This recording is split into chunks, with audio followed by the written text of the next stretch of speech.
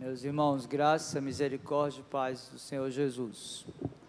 Muito bom voltar em mais uma quarta-feira para mergulharmos na boa teologia e compreendermos o que é que o Senhor ele tem para nós nessa noite.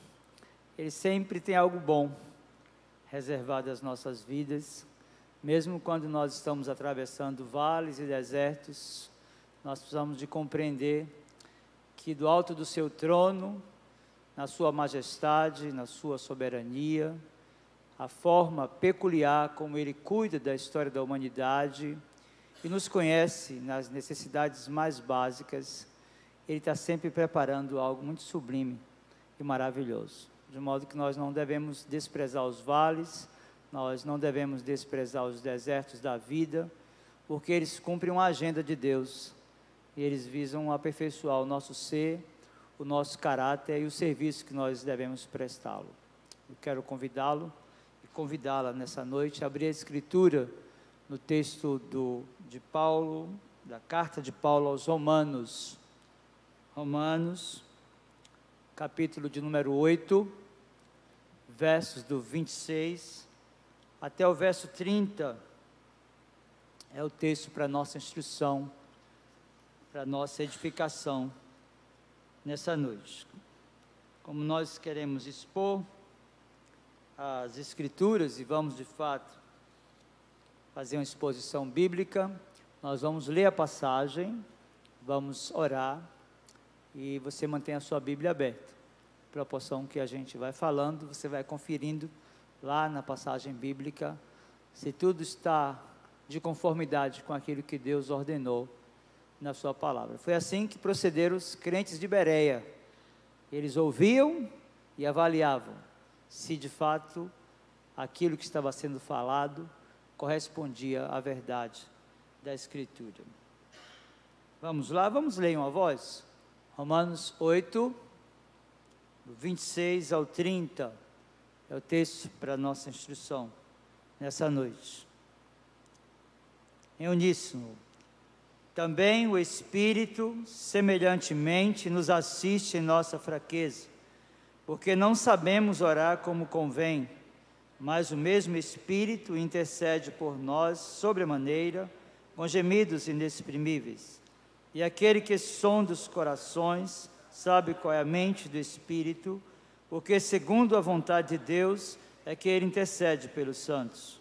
Sabemos que todas as coisas cooperam para o bem daqueles que amam a Deus, daqueles que são chamados segundo o seu propósito.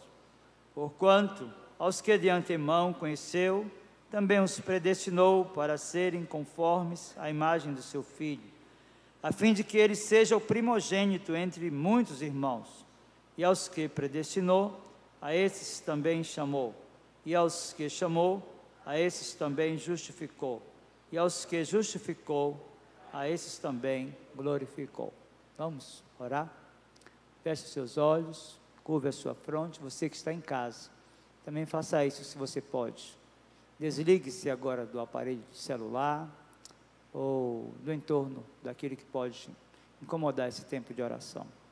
Meu Senhor, em nome de Jesus, teu Filho bendito, o amado da nossa alma, nosso supremo pastor e amado redentor é por ele, meu Senhor, por seu sacrifício eterno, perfeito e suficiente, por sua morte vicária e substitutiva, que nos achegamos ao trono da tua graça, reconhecendo quem somos, pecadores, ainda que regenerados, fazendo eventualmente e acidentalmente aquilo que é mal aos teus olhos, reconhecendo também quem tu és Deus gracioso, bondoso, misericordioso e longânimo, que nos preserva a aliança, porque és fiel ao pacto, ao concerto que fizeste com teu filho, no qual fomos incluídos de forma graciosa e misericordiosa. Como ovelhas do teu redil, povo do teu pastoreio, nós suplicamos nessa noite que, como o lavrador prepara a terra para lançar a semente, assim também, meu Senhor, nós te suplicamos que prepares o nosso coração para que a boa semente que será lançada encontre guarida, produza frutos e esses frutos promovam a glória do nosso Senhor Jesus Cristo, por quem oramos. Amém. Meus irmãos queridos, Romanos 8, 28 é seguramente um dos textos mais conhecidos da Escritura.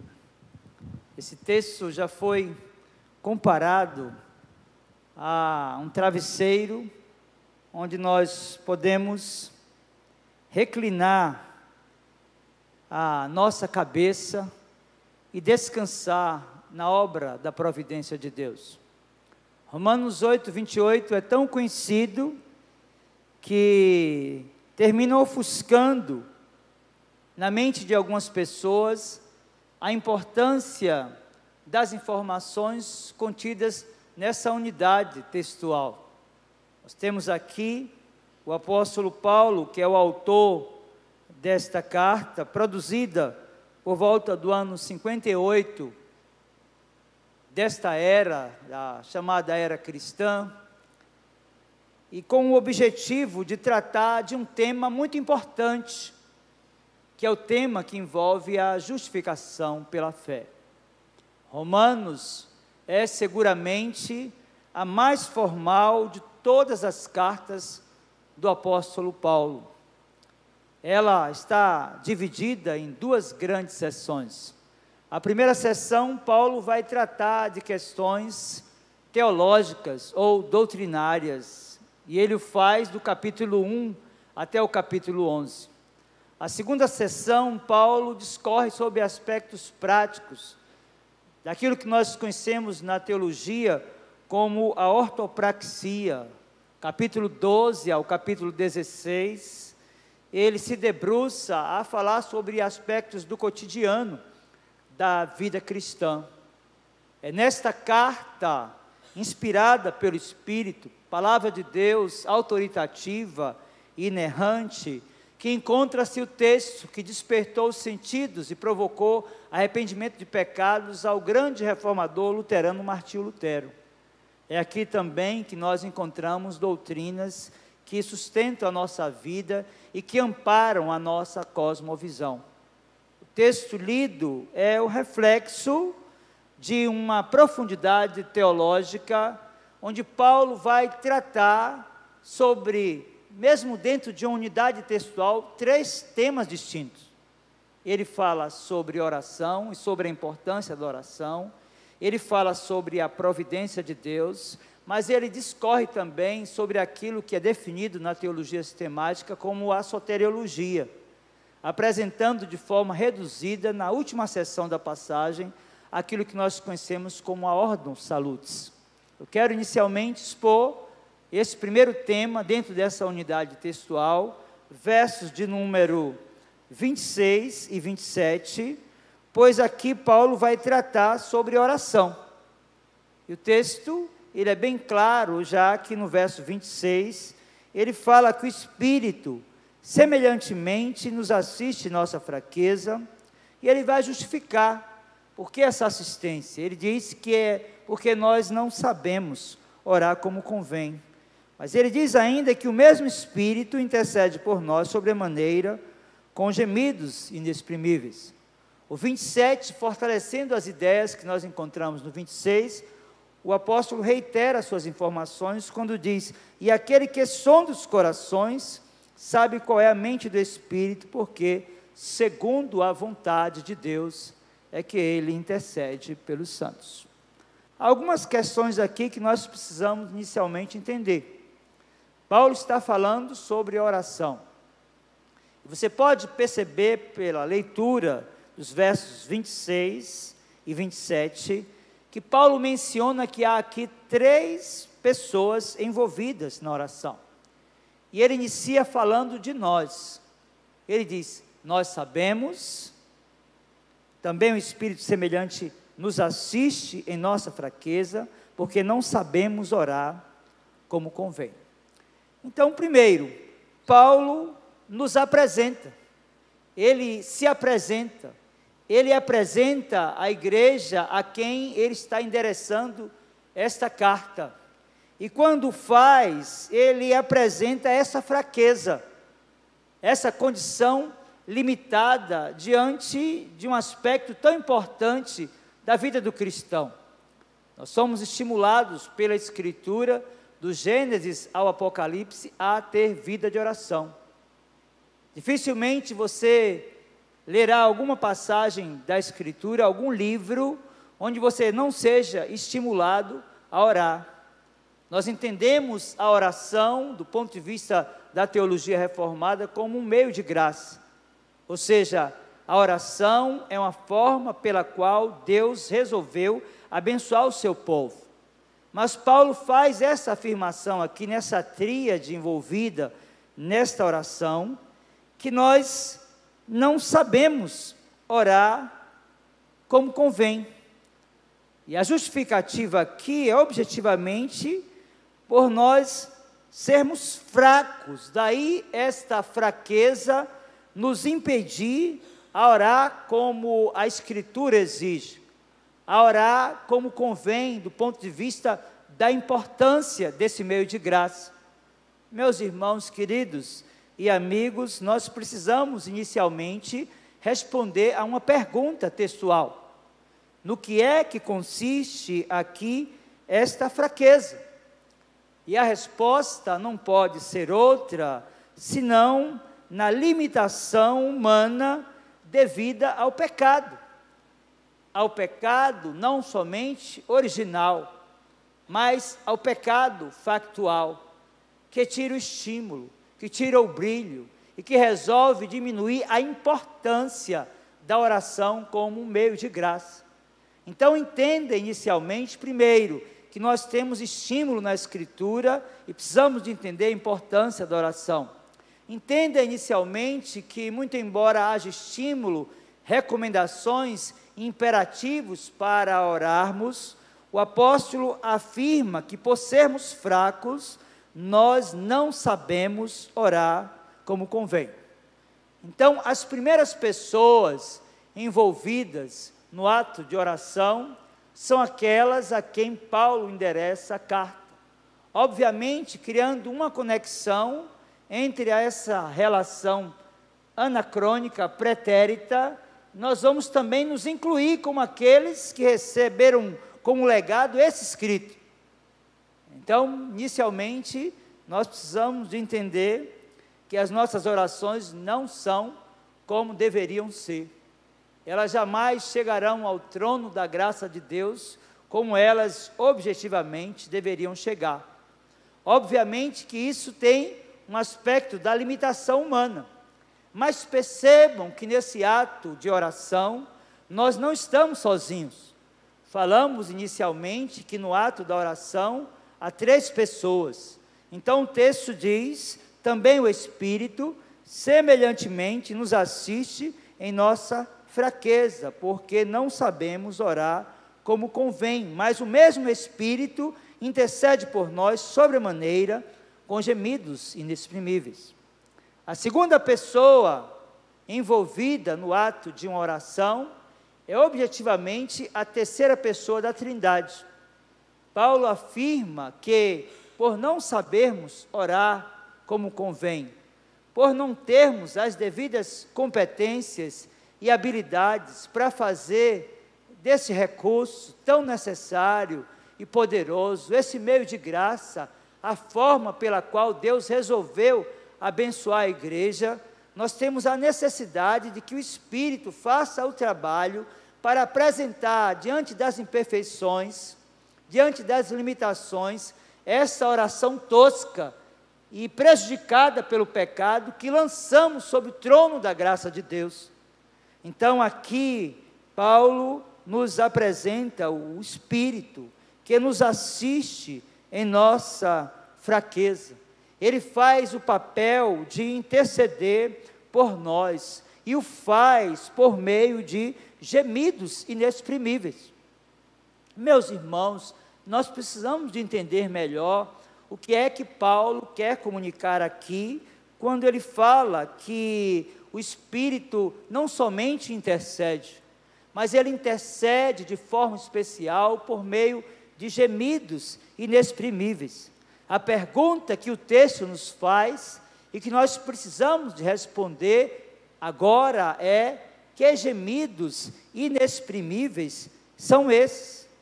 Primeiro, nós precisamos de entender que Paulo já havia tratado sobre eles, ao enfatizar inicialmente dos versos 19 ao 22 desse mesmo capítulo, os gemidos da criação. Devemos lembrar que Paulo já havia tratado também nesse capítulo, nos versos 23 ao 25, acerca dos gemidos dos filhos de Deus. Então percebam que nesta unidade textual, dentro do capítulo 8 da carta aos Romanos, Paulo não apenas fala do papel do Espírito em conduzir a nossa oração como intercessor, mas ele afirma também que o Espírito, ele geme é, em decorrência da queda, isso tem relação com a criação. Ele fala também dos gemidos do, dos filhos de Deus. Meus queridos, a resposta que nós precisamos aqui não é apenas essa. Nós precisamos de responder aquilo que o texto nos traz como informação, dentro daquilo que é muito comum nos nossos dias. Eu creio que a resposta mais objetiva que o texto requer de nós nessa noite é entender que tipo de gemidos inexprimíveis são esses. E para tanto, nós precisamos inicialmente compreender do ponto de vista da etimologia, que é a análise da palavra no texto, na língua original, o que é que significa a palavra aqui utilizada por Paulo acerca desses gemidos. Meus irmãos e amigos, a palavra grega utilizada aqui é alaletos e significa simplesmente sem palavras. Nós poderíamos pensar também, dentro desses gemidos, que são suspiros que substituem palavras. É importante que se diga a proporção do desenvolvimento e da exposição desta primeira sessão do texto que é objeto da exposição dessa noite, que a Escritura não vai trazer aqui qualquer conotação de que esses gemidos sejam as chamadas línguas estranhas. Meus queridos, as chamadas línguas não têm relação com o texto de Romanos, nem servem para estruturar uma doutrina de uma suposta língua que a igreja possa falar sem que haja capacidade de interpretação. A própria expressão que nós encontramos no livro de Atos dos Apóstolos acerca das línguas chamadas estranhas é uma expressão do ponto de vista da etimologia que nos faz entender que eram idiomas. Afinal, a palavra grega lá era glossolalia.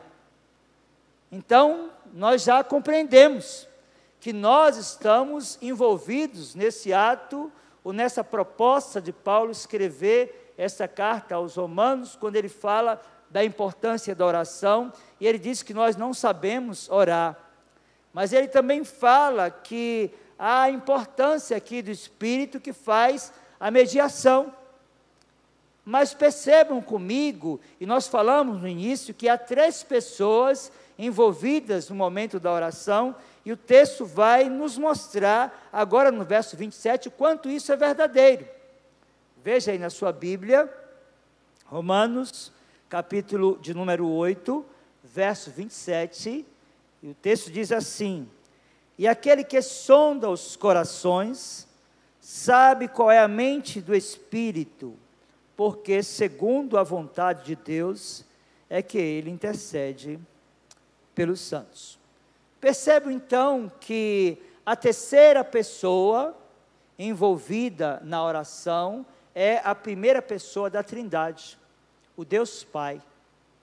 E é importante para nós percebermos que Deus que sonda os nossos corações e também conhece o Espírito, é segundo a sua própria vontade que Ele vai nos atender às orações.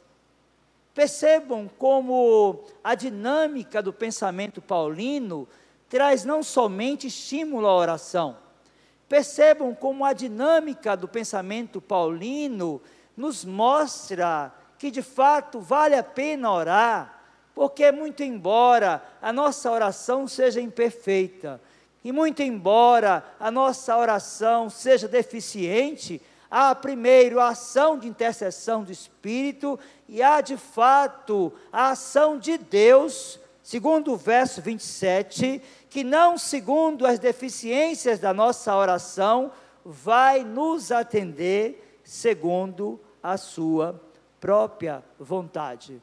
Meus irmãos, há uma unidade de pensamento aqui de Paulo, porque no capítulo 12 ele vai afirmar que a vontade de Deus é boa, perfeita e agradável. Então, antes de passarmos para a abordagem acerca da providência de Deus, no verso 28, eu quero nessa noite estimular você a orar. Jamais orar como os cristãos neopentecostais oram, achando que podem determinar alguma coisa para Deus, achando que podem, pela força dos seus argumentos ou para suas necessidades, dizer para Deus o que ele deve fazer. Meus irmãos, a nossa oração deve ter como referência sempre a oração modelo. Cristo nos ensinou a orar e a encerrar a nossa oração dizendo: Seja feita, pois, a tua vontade, assim na terra como no céu. Então, a proporção que você tenha uma necessidade, a proporção que aquilo que move o seu coração seja diante dos olhos dos homens impossível, jamais deixe de interceder jamais deixe de orar. Primeiro, porque o Espírito faz o papel de aperfeiçoar a sua oração, entregá-la a Deus. Porque Deus vai atender não segundo a sua vontade, o seu querer, mas segundo aquilo que Ele resolveu fazer para você, quando Ele diz que a sua vontade é boa, é perfeita e é agradável. Então, eu quero estimular você a ter uma vida de oração a entender a oração como meio de graça, a não desprezar esse recurso poderoso que pode efetivamente mudar os termos da sua história e da história daqueles que estão no seu entorno. Lembre-se de quantas pessoas foram visitadas por meio da oração. Lembre-se no Antigo Testamento do rei Ezequias, Lembre-se no Novo Testamento daqueles que estavam encarcerados, Paulo e Silas, e quando o anjo do Senhor foi abrir-lhes a prisão. Deus pode resolver a sua demanda, Ele pode visitá-lo nessa noite, mas Ele pode também preparar você para entregar essa bênção que você quer depois, porque um dia para Deus é como mil anos e mil anos é como um dia, como um dia. E Ele responde às nossas orações com sim, com não ou com espere um pouco. Então, ditas as palavras e os ensinos que envolvem os versos 26 e 27, nós precisamos de voltar o nosso olhar agora para aquilo que a Escritura nos ensina acerca da providência de Deus. Porque vejam que, mesmo dentro de uma unidade temática, versos do 26 ao 30, Paulo trata sobre três temas. Ele fala sobre oração, mas agora ele vai falar sobre a providência de Deus. E esse texto tão conhecido da igreja é, de igual modo, um texto muito mal interpretado nos nossos dias. Paulo afirmou, escrevendo aos Romanos, capítulo 8, verso 28, sabemos que todas as coisas cooperam para o bem daqueles que amam a Deus, daqueles que são chamados segundo o seu propósito. Não sei se você consegue perceber comigo, mas o texto agora em Romanos capítulo 8, verso 28, toma uma nova conotação. não apenas no que diz respeito à sua temática, já que Paulo deixa de tratar sobre oração e passa a discorrer sobre a providência de Deus, mas de forma especial porque depois de falar de coisas que nós não sabemos, ele inicia essa unidade textual dizendo que nós não sabemos orar, ele inicia agora o verso 28 falando de coisa que nós sabemos. Ele diz que nós sabemos que todas as coisas cooperam para o bem daqueles que amam a Deus. A pergunta que o texto nos faz, ou que nós precisamos de fazer para o texto, é: sabemos o quê? Meus irmãos, a resposta está no verso 28. O apóstolo passa a discorrer aqui sobre a providência de Deus. Eu acredito, eu acredito que não haja nada melhor para nós, quando nós falamos sobre providência de Deus, se não recorrer à nossa própria história e à nossa própria teologia. A confissão de fé, que é um compêndio de teologia sistemática, e a nossa referência denominacional ou confessional em assuntos de doutrina. No capítulo 5, nas sessões segunda e terceira, vai falar sobre providência de Deus. E antes de abordar esta unidade, e de forma especial o verso 28, eu quero ler para você capítulo 5 da confissão, sessões segunda e terceira. Observe. Posto que em relação à presciência e ao decreto de Deus, que é a causa primária, todas as coisas acontecem imutável infalivelmente. Contudo, pela mesma providência, Deus ordena que elas sucedam necessária, livre e contingentemente, conforme a natureza das causas secundárias. Atente agora para a leitura da terceira sessão. Na sua providência ordinária, Deus emprega meios. Todavia, ele é livre para operar sem eles, sobre eles ou contra eles, segundo o seu arbítrio. Então, é importante para nós, do ponto de vista daquilo que a confissão de fé nos ensina aqui, nós termos uma percepção do que é que o apóstolo quis comunicar quando ele falou de coisas que a igreja e que nós sabemos. Enquanto ele inicia dizendo que nós não sabemos orar, sob providência, ele diz que nós sabemos. Sabemos o quê? Que todas as coisas cooperam para o bem daqueles que amam a Deus, daqueles que são chamados segundo o seu propósito. A pergunta que nós precisamos fazer é: o que é que isso tem como objetivo nos ensinar? Eu queria extrair cinco lições preciosas de Romanos, capítulo 8, verso 28. Primeiro, entender que Deus age em nossas vidas. Muito embora a nossa insensibilidade muitas vezes nos leve à percepção de que Deus está inerte aos nossos problemas, de que Ele não está se importando com os nossos enfrentamentos, com as nossas dificuldades. Nós precisamos entender inicialmente, quando Paulo diz que nós sabemos, que nós temos a consciência, enquanto crentes reformados, de uma igreja que tem a Escritura como única regra infalível de fé e de prática, que Deus age em nossas vidas, muito embora não haja, da parte de muitos, essa percepção. Mas, em segundo lugar, Deus age em nossas vidas para o nosso bem. E é importante que você compreenda que quando nós falamos que Deus age para o bem do seu povo ou para o nosso bem, isso não quer dizer que o agir de Deus para o nosso bem possa nos gerar conforto. Às vezes é através dos enfrentamentos, do luto, da enfermidade no corpo ou na alma, dos conflitos, da falta de recursos, do desemprego, O que a gente precisa entender é que na sua soberania, ele dispõe absolutamente tudo para o nosso bem. Entender Romanos capítulo 8, verso 28, é estar para além de um pensamento hedonista ou narcisista. Entender que mesmo aquelas coisas que são ruins, aparentemente ruins, têm da parte de Deus um fim proveitoso.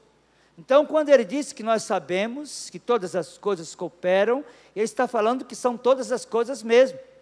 Então, primeiro, você entende que Deus age em nossas vidas. Segundo, você entende que Deus age para o bem do seu povo. Isso nos mostra, por exemplo, na história da teologia, que Deus resolveu conduzir o seu povo para um período de cativeiro, de exílio, e eles estiveram na Babilônia durante 70 anos e voltaram depois de 70 anos, muitos convertidos em meio à dor e o sofrimento e à distância da pátria e do culto. Então nós precisamos entender que Deus age para o bem do seu povo, tanto quando enviou o seu povo para a Babilônia, como no resgate após os 70 anos. Mas é importante também que se diga, em terceiro lugar, que Deus age para o nosso bem em todas as coisas. E eu preciso reiterar essa mensagem nessa noite, porque há ações de Deus na vida dos crentes que algumas pessoas interpretam como a ação do inimigo da nossa alma. É necessário entender que todas as coisas aqui são objetivamente todas as coisas mesmo. Nós precisamos entender isso à luz daquilo que conhecemos como analogia da Escritura. Quando recorremos a outras passagens para lançar luz na passagem que é objeto da exposição, para aclarar o nosso entendimento e compreender, por meio de episódios que estão para além da produção textual que é objeto da exposição, que de fato Deus age para o nosso bem em todas as coisas. Quando nós falamos isso, eu me lembro, por exemplo, da experiência de José no Egito. Vendido como escravo, quando os irmãos, na realidade, tentaram retirar-lhe a vida, ele passou parte da sua juventude e toda a sua vida lá no Egito. E de escravo, ele foi conduzido à posição de segundo maior. E foi diante dessa condição de privilégio que ele teve, após enfrentar vales e desertos distante da família e do seu povo, que ele pôde se tornar o provedor da sua própria casa. Quando seus irmãos, vivendo um período de estio, o procuraram, temendo aquilo que José poderia fazer contra eles. E me chama a atenção no texto do Gênesis, capítulo 50, verso 20, que quando os seus irmãos o procuraram, ele disse: Vós, na verdade, intentastes o mal contra mim, mas Deus o tornou em bem. Nós precisamos entender que todas as coisas são todas as coisas mesmo. José teve uma percepção mais aguçada da providência de Deus porque ele compreendeu que, mesmo a traição dos seus irmãos, mesmo os desafetos daqueles conflitos familiares, tinham da parte de Deus um propósito muito definido. Meus irmãos, essa verdade de que Deus age para o nosso bem em todas as coisas, também encontrada na história da vida de Jó. Obviamente que, em meio ao seu sofrimento, quando foi tomado do alto da cabeça, a planta dos pés, de tumores malignos, convivendo com aquilo que a medicina define hoje como metástase, Jó gemeu e muitas vezes questionou aquilo que Deus estava fazendo. Mas ao final da sua vida, sendo questionado por sua própria ignorância, ele fez uma declaração que nos faz entender que o seu sofrimento também teve, da parte de Deus, um propósito. ele disse para Deus: Eu te conhecia só de ouvir, hoje os meus olhos te veem. Então nós reiteramos a tese de que absolutamente todas as coisas cooperam para o bem daqueles que amam a Deus. Obviamente, meus irmãos, nós precisamos entender isso. Agora, em um quarto ponto, que Deus age em todas as coisas para o bem daqueles que o amam, e retirarmos a possibilidade de um pensamento de uma teologia universalista. Essa ideia de que Deus age para o bem tem uma relação estreita com a aliança. Deus age para o bem daqueles que lhe pertencem. Deus age para o bem daqueles que têm uma aliança com Ele, que estão buscando, pelos meios de graça, o aperfeiçoamento do ser e do caráter. Não vão usar esse texto bíblico para aqueles que estão fora da aliança. Não vão usar esse texto bíblico para alguém que está sofrendo e que vive uma vida de pecados, dizendo que aquilo vai contribuir para o bem. Às vezes, o que uma pessoa sem Deus está vivendo é tão somente instrumento do juízo de Deus. Isso para conduzi-lo ao inferno e à experiência da morte eterna. Então, quando nós afirmamos que Deus age em todas as coisas, Ele está agindo para o bem daqueles que têm uma relação pactual de aliança.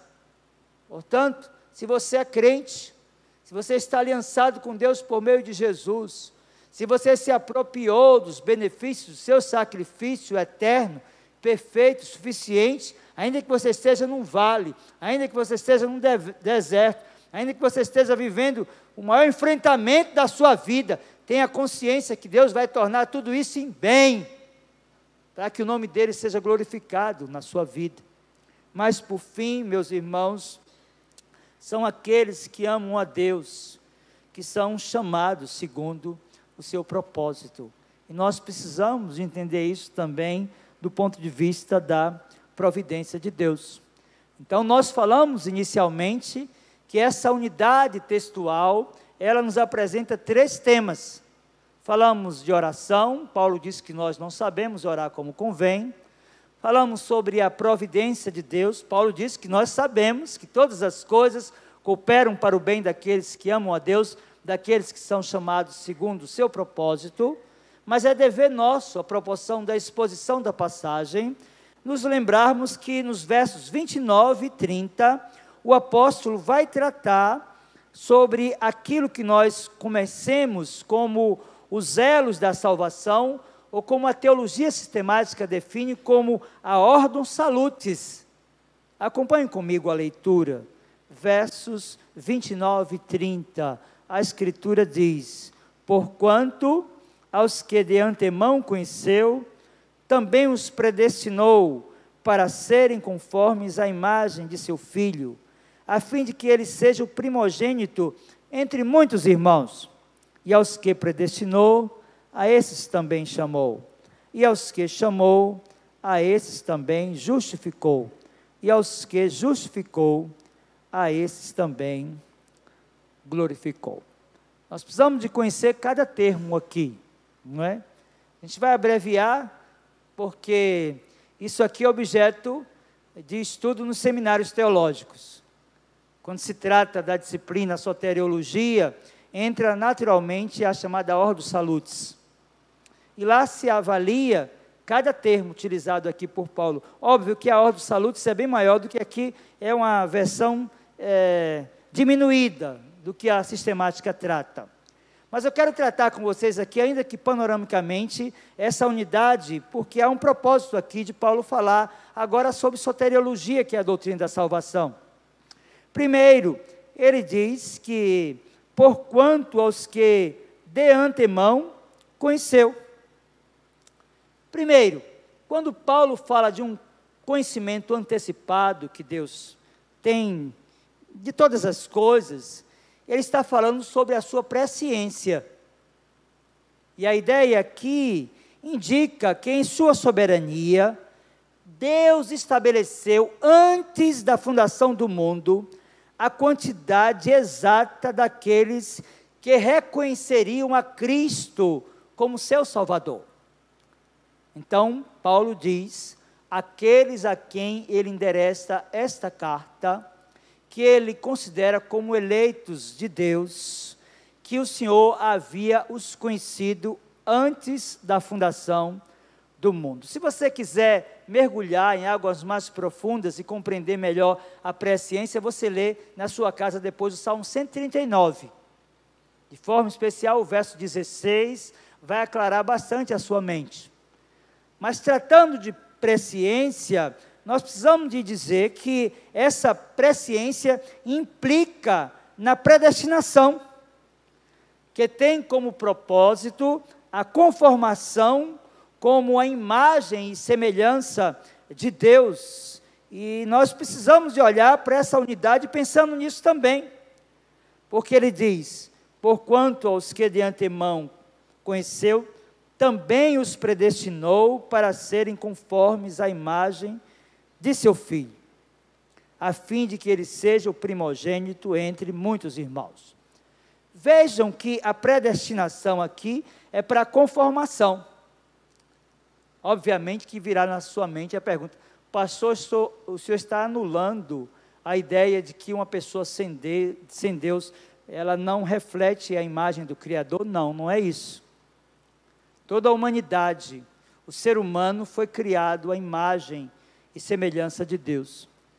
Mas Paulo está tratando do tema aqui para além daquilo que é comum, do aspecto moral, ou do aspecto religioso, por exemplo, por homem ser a imagem e semelhança de Deus, ele tem aquilo que os teólogos definem como semi-religions, a semente da religião, que o faz ter a necessidade de cultuar e de adorar.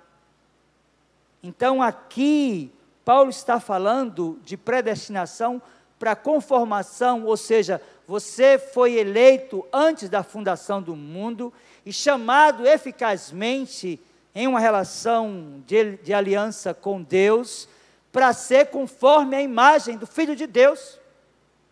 Pastor, o que é que isso deve nos ensinar nessa noite? Eu queria falar sobre três, podemos definir assim, preocupações que Cristo teve no discipulado com aqueles que ele ia chamando. Primeiro, a sua preocupação de que aqueles que são chamados eficazmente desenvolvam a vida espiritual ao ponto de se tornarem semelhantes a Ele.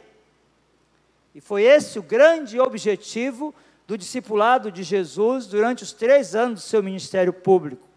Segundo, havia uma preocupação natural de que aqueles que foram chamados eficazmente e que deveriam se conformar à imagem do Filho de Deus tivessem também uma preocupação social ou seja, que eles vivessem para além dos muros da igreja, que entendessem a sua vocação também quando estão na família, também quando estão no trabalho, também quando estão inseridos nas suas relações sociais, seja no condomínio ou no bairro onde moram. Então, ter a conformação da imagem de Cristo é ser cristão para além da relação dominical testemunhar de Jesus e ter preocupações sociais que possam despertar as pessoas para a responsabilidade social da igreja. Mas, por fim, havia também uma preocupação de Cristo com a sua própria família e ter a conformação da imagem de Deus, segundo aquilo que nós encontramos no verso 27, predestinados para serem conforme a imagem do Filho de Deus é entender que o nosso primeiro campo missionário é a nossa casa. Eu gosto sempre de reiterar esta mensagem que há pessoas preocupadas em sair do Brasil para ir para a África, nada contra isso, em sair do Brasil para ir para a Ásia, para pegar o evangelho da graça de Deus, mas está deixando para trás um monte de gente dentro de casa que ainda não conhece a Cristo como seu Salvador. Então, se você é pai, se você é mãe, quero dizer para você a sua casa está cheia de gente, se você tem filhos, sobretudo, para você anunciar as boas novas da salvação. Os nossos filhos precisam ouvir a mensagem gloriosa do Evangelho da graça e da salvação. Enquanto a nossa casa e a nossa família não ouvir a mensagem gloriosa da salvação, seja pela verbalização daqueles que são crentes ou pelo testemunho cristão, o seu trabalho para fora da sua casa será ineficaz. Então, quando o texto diz que nós somos predestinados para sermos conforme a imagem de Cristo, nós precisamos entender a nossa casa como locus da nossa evangelização. Mas eu quero caminhar para o fim e agora, verso de número 30, Paulo vai dizer, dentro desta ordem salutis, e aos que predestinou, a esses também chamou, e aos que chamou, a esses também justificou, e aos que justificou, a esses também glorificou. Primeiro, a ideia de chamado aqui é de vocação. É o que nós conhecemos na teologia sistemática como vocação eficaz. A teologia define dois tipos de chamado: a vocação geral, que é quando o evangelho é pregado, o pastor está aqui pregando no domingo uma mensagem de salvação, e ele apresenta o plano da redenção, e há pessoas que compreendem do ponto de vista intelectual. Algumas até choram, saem da igreja impactadas com a mensagem que é bem apresentada, com a homilia muito bonita, encharcada das Escrituras, envolvida pelos afetos que o pregador tem ao texto sagrado. E há pessoas que saem, do ponto de vista intelectual, convencidas daquilo. Isso é o que a teologia define como a vocação geral. Essa pessoa, depois de sair da igreja, iniciar sua semana, vai voltar a ser quem sempre foi. Viver e conviver com os mesmos pecados. Paulo está falando aqui da vocação eficaz. A vocação eficaz é o que a teologia define como a invasão da graça.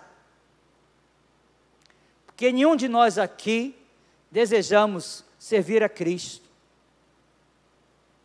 para que nós deixássemos a nossa zona de conforto e a forma como nós vivíamos, foi necessário que Cristo, por meio do Espírito, nos convencesse do pecado, da justiça e do juízo, invadisse o nosso coração, mudando as nossas volições e nos dando consciência de pecados. Paulo está tratando aqui aos que chamou. E esse chamado aqui é o chamado que o pecador não pode resistir. É o chamado eficaz, que ele não pode dizer não, que vai levá-lo às lágrimas, ao arrependimento profundo de tudo que fez no decurso da sua vida. Mas Paulo diz mais que aos que chamou, a esses também justificou. E a justificação aqui, meus queridos irmãos, é o conceito de justiça imputada, da expressão inglesa input, de fora para dentro.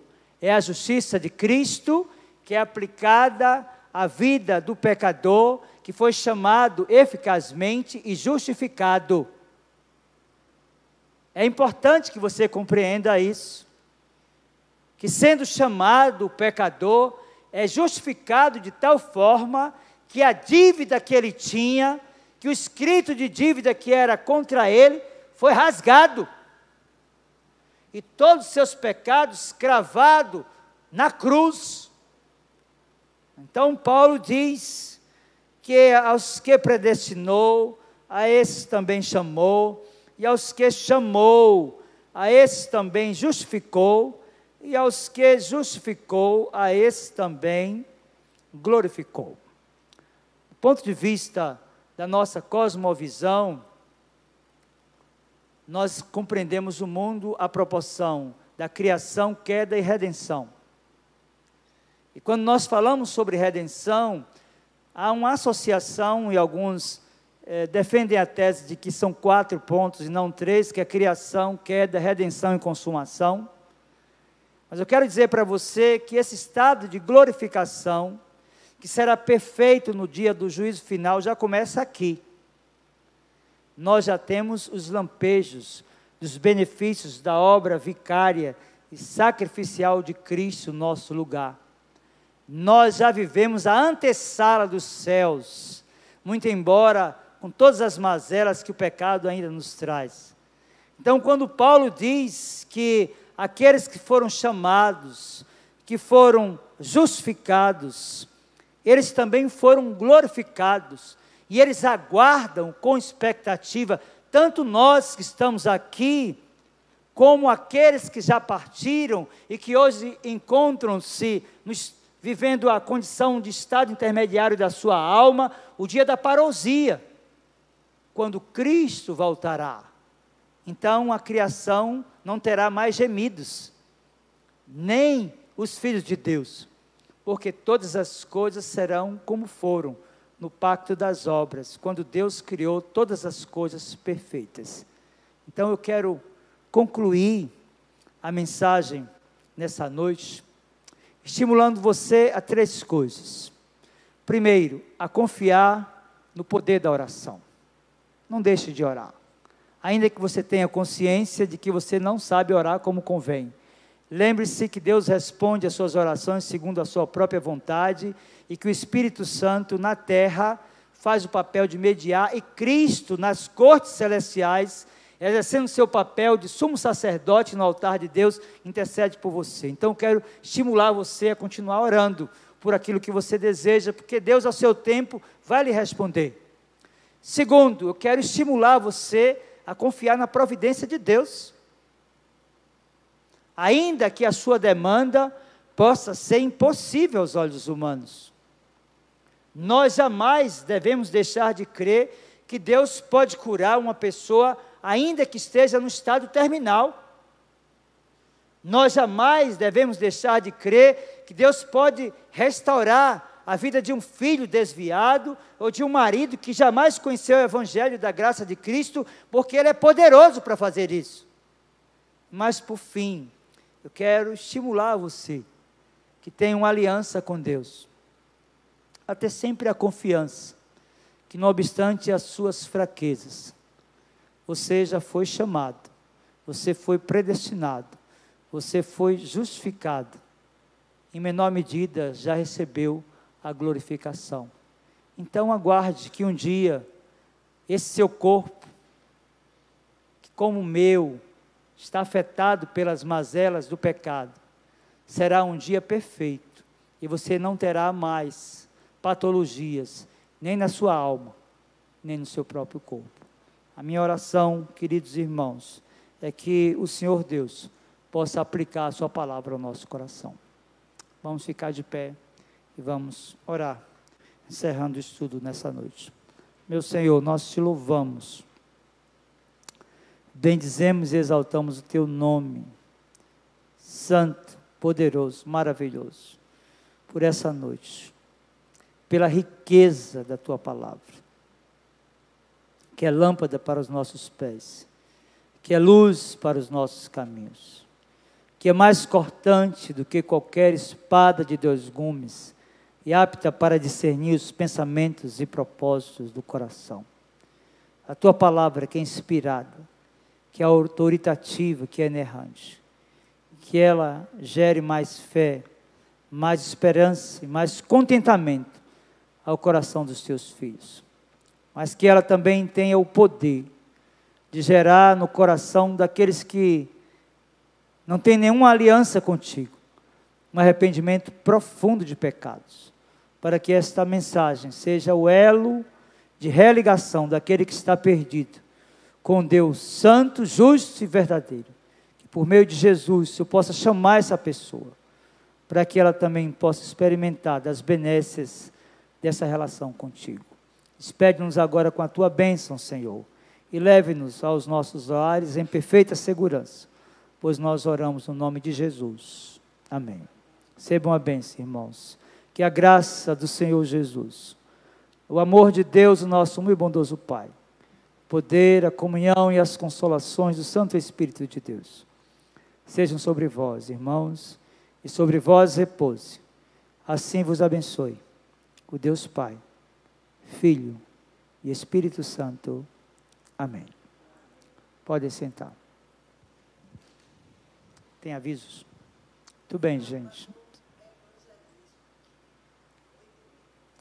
Sábado, evangelização, oito e meia, tá bom?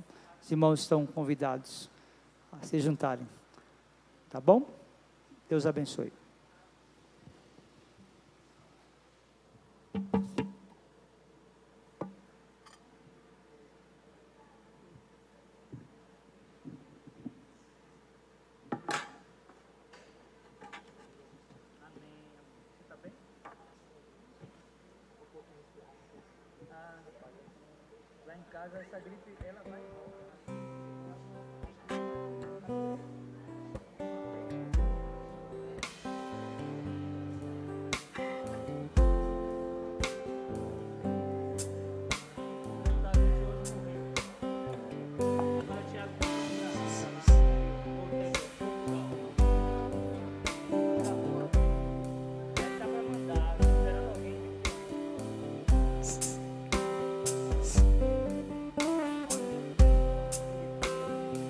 Tu és soberano.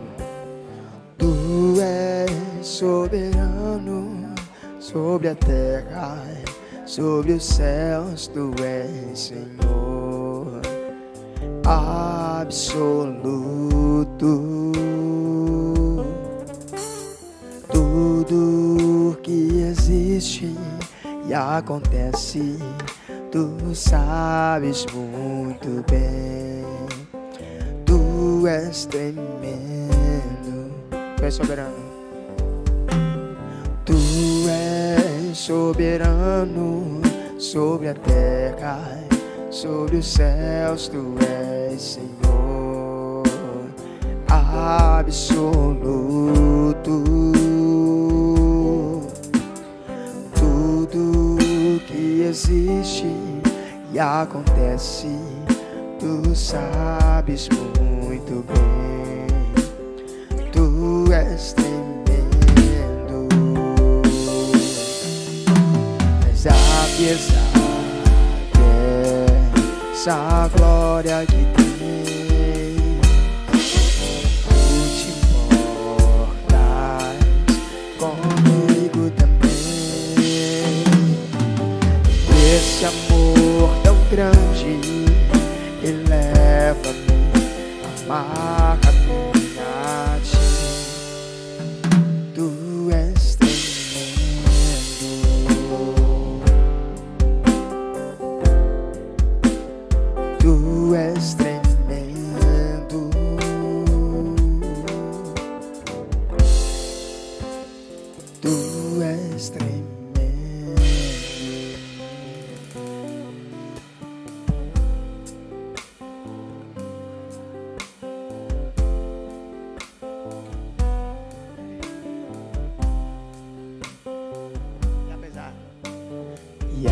apesar dessa glória que tens,